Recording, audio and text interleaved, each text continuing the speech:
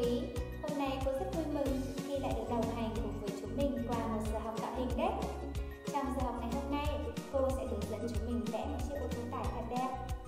Và để vẽ được bức tranh này thì cần đến những đồ dùng gì thì sau đây chúng mình hãy cùng chú ý nhé. Để vẽ được ô tô tải thì chúng mình cần chuẩn bị giấy A4, bút màu và bút dạ. Bây giờ chúng mình cùng xem cô hướng dẫn nhé.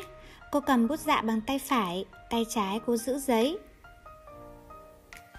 Đầu tiên, cô sẽ vẽ đầu xe. Đầu xe là một hình chữ nhật thẳng đứng.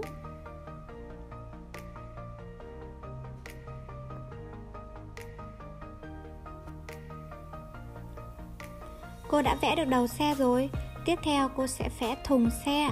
Thùng xe thì cô sẽ vẽ một hình chữ nhật nằm ngang sát với phần đầu xe.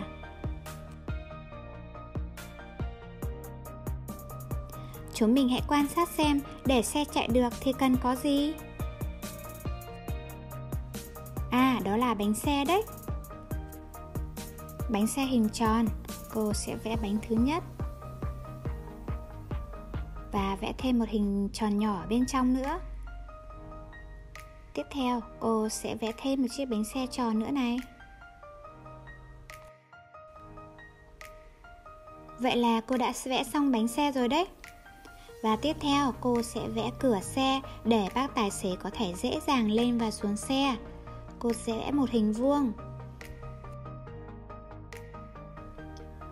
Vậy là cô đã vẽ xong chiếc ô tô tải rồi. Ô tô chạy ở đâu hả các con? À đúng rồi, ô tô chạy trên đường đấy. Cô sẽ vẽ đường bằng một nét cong.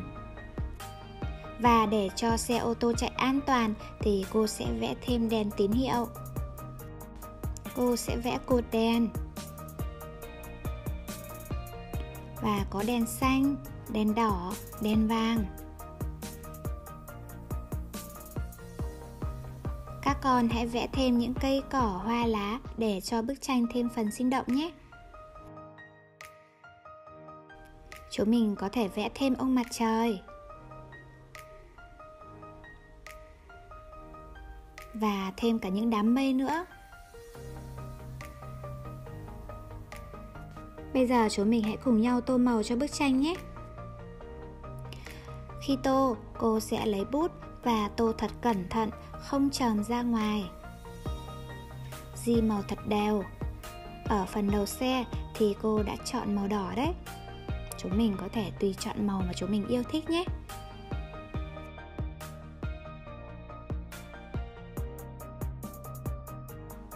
Cô đã tô xong đầu xe rồi đấy. Tiếp tục cô sẽ tô phần thùng xe. Thùng xe cô sẽ chọn bút màu vàng.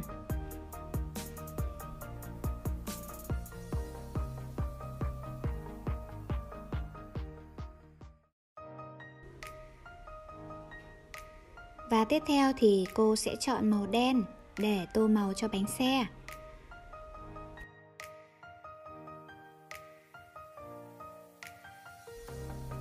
Tiếp theo là sẽ đến phần cửa xe, cô sẽ chọn màu xanh để tô.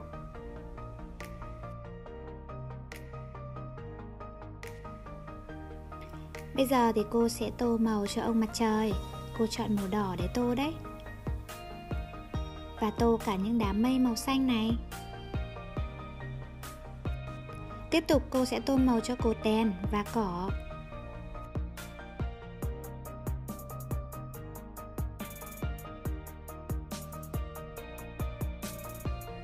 Ở phần đường đi thì cô sẽ chọn màu nâu. Ở phần này thì cô sẽ di màu nhẹ hơn để nhìn bức tranh thêm sinh động nhé. Và bây giờ thì cô sẽ tô đến màu nền trời thì cô sẽ sử dụng màu xanh nhưng chúng mình chú ý hãy di thật nhẹ tay thôi để màu sẽ không bị đậm nhé. Vậy là cô đã tô xong bức tranh rồi, cô sẽ đặt tên cho bức tranh của mình là ô tô đường phố.